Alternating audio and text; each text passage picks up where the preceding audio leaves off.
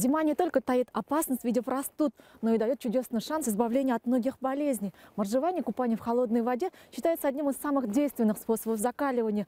Как правильно проводить процедуры и в чем польза моржевания, постараемся рассказать в нашем репортаже. Уральские моржи уже много лет собираются в парке культуры и отдыха на берегу реки Чаган. Первым делом готовят прорубь. В воде не должно быть кусочков льда. Они могут поранить кожу. Затем переодевание и пробежка по парку, причем дистанцию каждый задает себе сам. Самый старший в клубе «Моржей» Павел Георгиевич Хорошкин, ему 87. Ветеран Великой Отечественной впервые окунулся в прорубь 11 лет назад.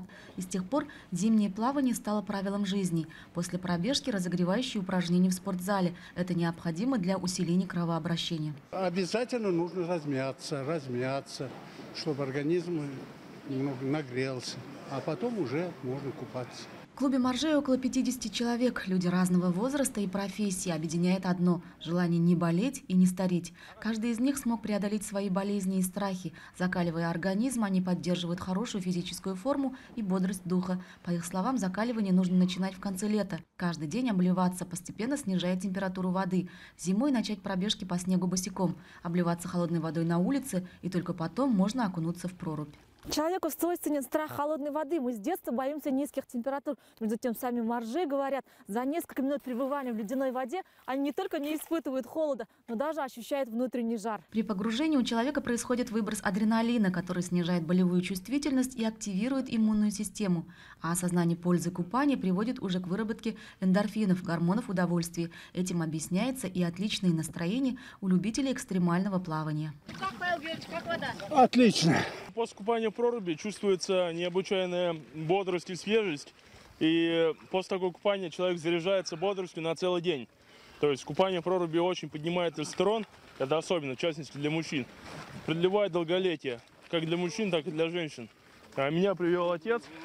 А, вот это, Ну, то есть мой отец. Не да. одному же тонуть. Я росла э, больным ребенком.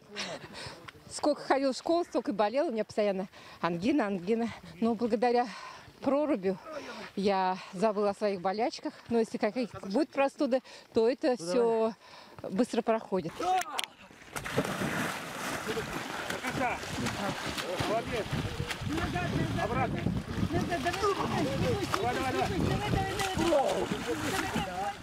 Алишеру 14 лет, он с детства занимается дзюдо. По совету отца решил попробовать и закаливание. Трудно только решиться, говорит он, а после первого купания страх отступает. Настолько много получаешь от воды. Ощущение очень хорошее.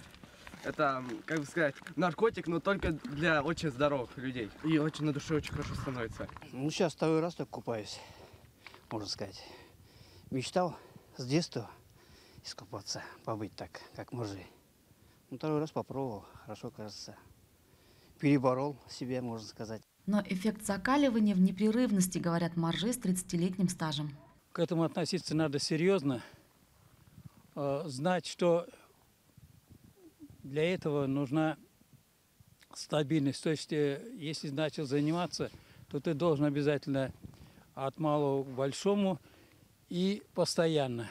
Перерывы э, в этом э, закаливании только вредит здоровью. Зимнее плавание не только укрепляет тело, лечит неврозы и депрессии, меняется и характер человека, рассказывают моржи. Вода дарит человеку гармонию с собой, силу и хорошее настроение. Вы, конечно, можете искупаться, но не обязательно проплыть, а просто один раз окунуться, да. И вы почувствуете, как будто вы заново родились. Это такое чувство, да, необъяснимое, чувство новизны, чувство приобретения какого-то, чувство общения с природой. Необыкновенное чувство почувствуете. Я вам обещаю. Унося с собой заряд бодрости и оптимизма, мы попрощались с моржами, пообещав обязательно подумать о закаливании.